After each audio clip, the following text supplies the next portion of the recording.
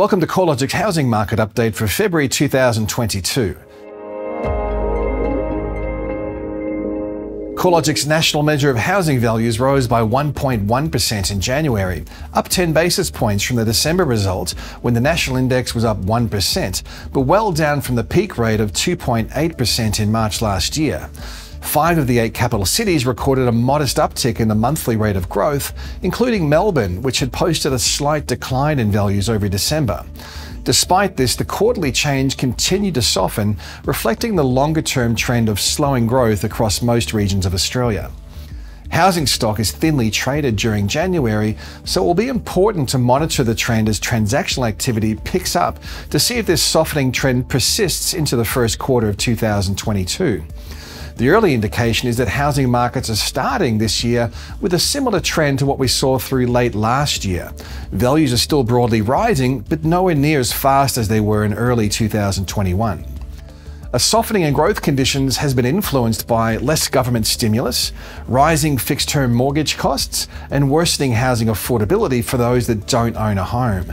More recently, a slight tightening in credit conditions and a surge in new listings through the final quarter of last year may have contributed to the softer conditions. The annual change in national housing values reached a new cyclical high in January, up 22.4% over the year, the highest annual rate of growth since June 1989. In approximate dollar value terms, the typical Australian home is now worth around $131,000 more than it was a year ago. Brisbane recorded the highest annual rate of growth across the capital cities, with housing values up 29.2%, or approximately $160,000. Continuing a pattern seen over recent months, the January results showed greater diversity, with Brisbane and Adelaide leading the pace of capital gains, up more than 2% over the month, while growth in Melbourne, Darwin, Sydney, and Perth recorded substantially softer outcomes.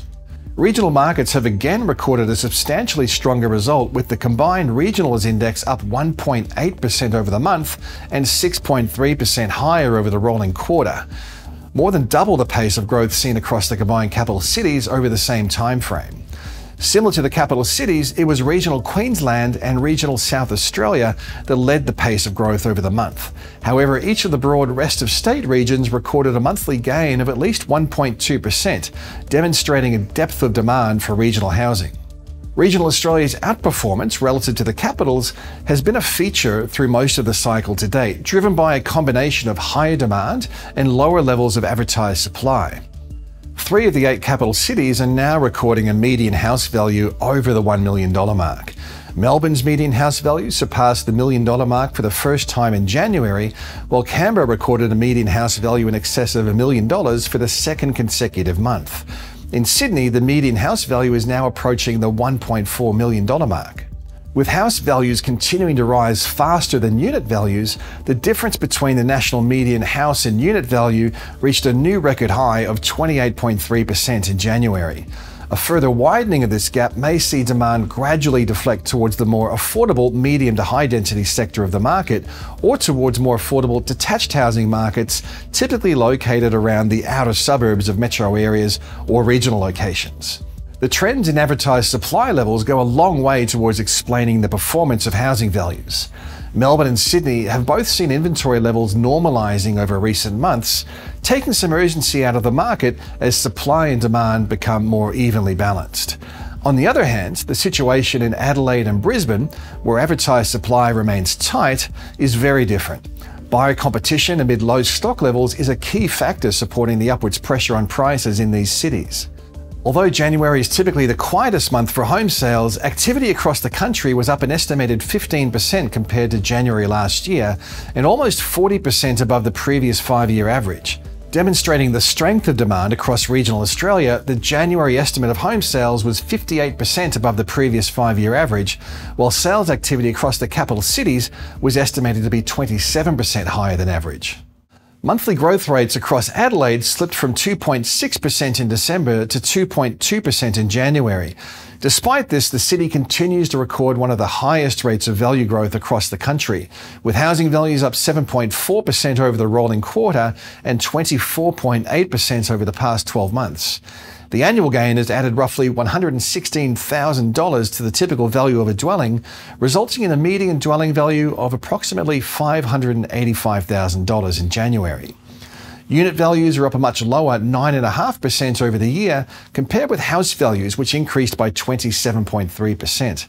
Adelaide's strong growth is being supported by persistently low advertised stock levels, which has added some urgency to the purchasing environment.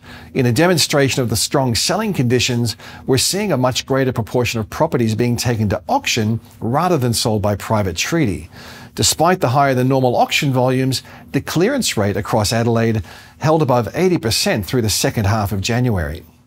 Overall, the housing market was still moving out of the seasonal slowdown following the festive period, but early indicators are showing housing market conditions are starting the year similar to where they finished off in 2021. The pace of capital gains remains positive, but increasingly diverse and generally slowing. The trend in advertised listings will be an important factor for housing markets performance in early 2022. In January, real estate agent activity across CoreLogic platforms was 22% higher than this time last year, suggesting the number of fresh listings could be higher over the coming month relative to previous years. While new listings are likely to trend higher early this year, it is uncertain whether demand will keep pace. There are a range of factors that could weigh on housing demand, including growing affordability constraints, tighter credit availability, rising interest rates, and potentially an increased level of caution amongst buyers wary of buying close to a market peak. If inventory levels rise and demand reduces, we should start to see vendors and buyers becoming more evenly balanced in the market, reducing the sense of urgency that's been a key factor in pushing up prices through the pandemic. We may already be seeing this trend evolve in some markets like Melbourne, where total listings have returned to above average levels and the pace of capital gains has cooled. We are expecting greater diversity in housing market trends this year.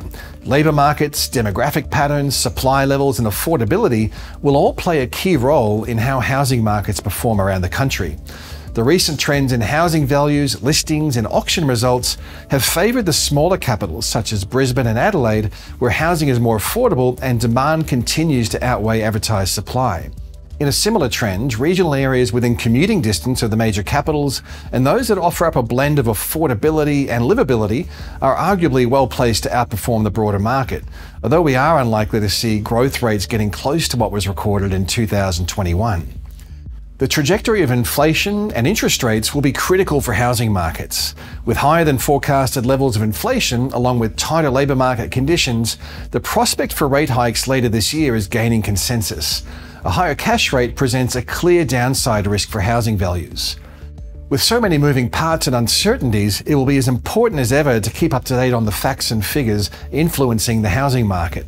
We'll be doing our best to keep you up to date throughout the twists and turns of the year ahead.